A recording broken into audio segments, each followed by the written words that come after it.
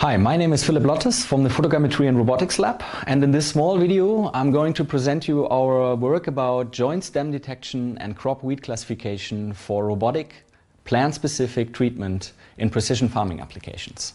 But first let's dive into the current state of the art of weed control. So if you go to the fields you typically see big tractors equipped with big sprayers uniformly applying the same dose of agrochemicals to our field.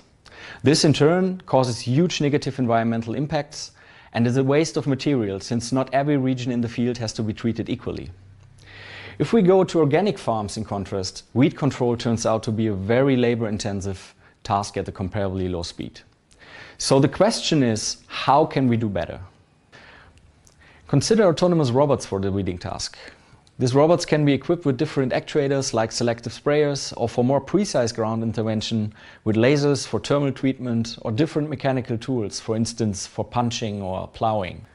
Autonomous weeding robots offer a great potential to treat every single plant on the field individually and select the most effective treatment for the current situation on the field.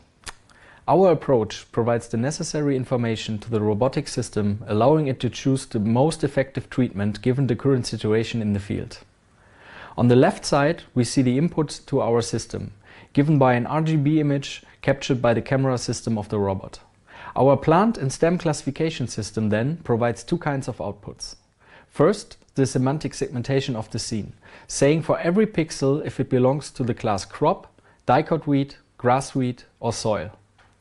Second, we provide the locations of the plant stems for the crops and dicot weeds, this information can be used to guide more precise intervention methods such as laser-based or mechanical weeding.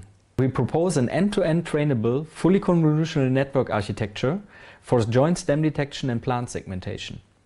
We use two task-specific decoders, one responsible for predicting the stem regions for crops and dicot weeds, and the other one responsible for predicting the semantic segmentation into the classes crops, dicot weeds, grass weeds and soil.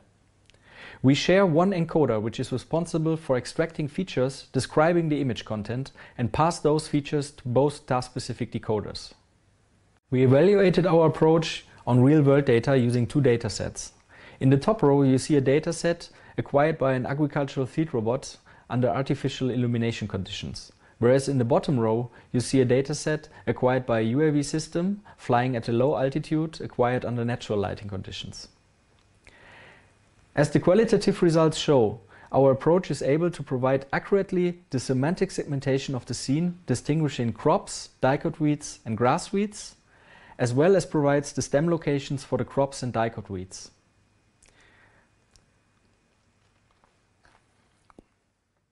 To sum up, in this video I presented you a novel approach for joint stem detection and crop weed classification using fully convolutional networks. By our approach, we enable robots for plant-specific and selective treatments in the field.